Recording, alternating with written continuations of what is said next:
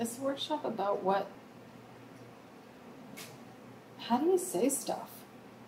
How do you do you say stuff? I don't know. That's what we're figuring out. How do you say stuff and how do you say stuff in front of a camera? I don't think the camera matters. It has to do with how do you say stuff in front of anybody.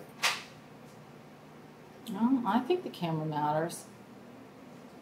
Because if you say stuff and nobody else hears you, Then you're stuffless.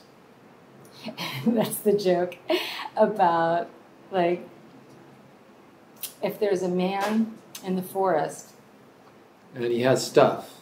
if there's a man in the forest and he says something but no woman hears him is he still wrong Oh, mine was is if there's nobody around to see that he has stuff, does he actually have any stuff? mine was much funnier Yeah, it is. I think so. And no, he's not.